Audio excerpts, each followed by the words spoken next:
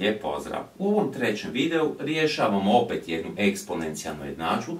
Jedna četvrtina na 1 minus 1 kroz x je manje od 16 puta 2 na 2x minus 3. Pogledajmo, lijevu i desnu stranu želimo prikazati kao potencije s istom bazom. 4, 16 i 2, pa sve to možemo prikazati preko baze 2. 4 je 2 na drugu, a jedna četvrtina je zapravo 2 na minus drugu, pa na 1 minus 1 kroz x. Manje, 16 je 2 na četvrtu puta 2 na 2x minus 3. Nadam se da se sjećate pravila. S lijeve strane imamo potenciju pa opet na eksponent. a na x pa na y, baza a se prepiše, a eksponenti se množe. Bazu 2 prepišem, a minus 2 množim s 1 minus 1 kroz x. Odmah ću ja to izmnožiti. Minus 2 puta 1 je minus 2. I minus 2 puta minus 1 kroz x će prvo biti plus 2 kroz x je manje. S desne strane vi znate nekad napraviti grešku i, ne pomnožiti ovo. Pazite, ovo sad 2 na četvrtu puta 2 na nešto, nije to 4 na nešto. Ne. Pravilno. Ako množimo potenciji s istom bazom. Bazu 2 prepišem, a eksponente zbrojim. 4 plus 2x minus 3. Jesmo li postigli da imamo i s lijeve i s desne strane po jednu potenciju s istom bazom? Jesmo. 2, 2. Baze sada mogu eliminirati. S tim što razmišljam. Ako je veća od jedan znak, ostaje isti. Super. Minus 2 plus 2 kroz x mora biti manje od 4 plus 2x minus 3. x u nazivniku. Smijem li sve množiti sa x? Ne smijem, zato što ne znam je li x pozitivan ili negativan, kako će se to odraziti na ovaj znak. Ako je slučajno x negativan, onda će se znak okrenuti. Ne mogu. Sve lijevo i svedimo na zajednički nazivnik. Dakle, minus 2 plus 2 kroz x. Ovako, ovih 4 minus 3 to je 1. Kad se preseli lijevo postane minus 1, minus 2x je manje od 0. I sad ću sve svesti na zajednički nazivnik koji je x. Naravno, mogao sam prvo minus 2 i minus 1 zbrojiti, ajde nek to bude minus 3.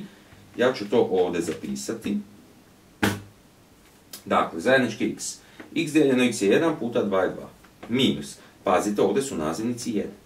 x dijeljeno 1 x puta minus 3 je minus 3x, jel? To je taj minus.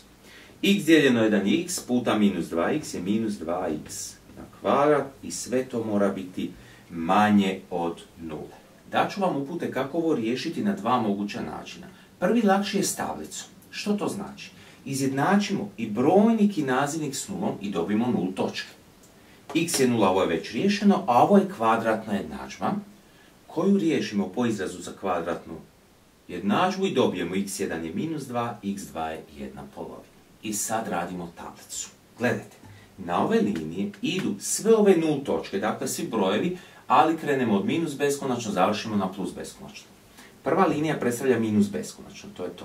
Sljedeći broj po redu nije nula nego minus 2, sljedeći je nula, a najveći od ova tri je jedna polovina i zato on ide tu. I na kraju je plus beskonačno. Dakle, posložili smo brojeve od najmanjeg prema najvećem. Prepišemo brojnik 2 minus 3x minus 2x na kvadrat u ovaj dio, a nazivnik x u ovaj drugi dio. I sad ubacujemo bilo koji broj između minus beskonačno i minus 2, recimo minus 3 u ovaj ovdje izraz. Pazite, ako ste dobro napravili, trebali bi se dobiti minus. Potom, znači neki neko negativni broj. Između minus 2 i 0 mogu uvrstiti primjerice minus jedinicu. Ako ja uvrstim broj minus 1, 3 puta, minus 3 puta minus 1 će biti plus 3, to je 5 pozitivno. Potom neki broj između 0 i 1 polovine. To sami sad uvrštavajte. Dakle, umjesto x u ovaj izraz, recimo 0,25, to je plus, pozitivno, pozitivan broj ćete dobiti. I ako uvrstite neki broj veći od jedne polovine, primjerice 1, umjesto x. 2 minus 3, to je minus 1, i minus 2 puta 1 na kvadrat, to će biti minus 3, dakle negativno. x, ako u ovaj izraz uvrstite bilo koji x između minus beskonačno i minus 2, recimo minus 3, to je minus 3, to je već minus. Ovdje minus, plus, plus. Postoji jedna provjera, a to je, ako smo ovaj ovdje izraz izjednačili s nulom, dobili smo jednu polovinu i minus 2. Dakle, u tom redu, kod minus 2 i kod jedne polovine stavim nulicu. Ako dođe u tom redu do promjena znaka plus u minus ili minus u plus, može doći samo kod tih nulica. I gle, zaista.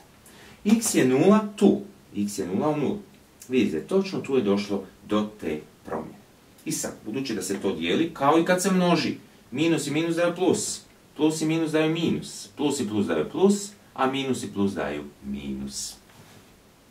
I što mi tražimo? Da bude rješenje manje od nule. Manje od nule su minusi, negativni brojevi. Dakle, napisat ću konačno rješenje. Evo malo ću početi vamo. x je element. Od, ova minus je od minus 2 do 0. Inače, ovakve zadatke sam rješavao, ako ne znate, pogledajte pod na mojoj stranici pod matematika prvi srednje linarne nejednačbe. Unija, opet je između ove dvije, od jedne polovine do plus beskonačno. Ako vam nije to najjasnije, dakle možete to malo proučiti. To je to.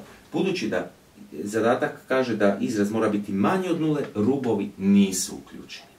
To je jedan način. Ovako malo sam ga na brzinu objasnio, mislim da vi to već znate. Drugi način je razmišljanje. Kako ja mogu postići da mi je razlomak manji od nule? To je moguće ovako. Možda je brojnik negativan, ali ako je brojnik negativan, onda nazivnik mora biti pozitivan, jer minus dijeljeno plus daju minus. Ili, drugi slučaj, možda je brojnik pozitivan, tada je nazivnik negativan.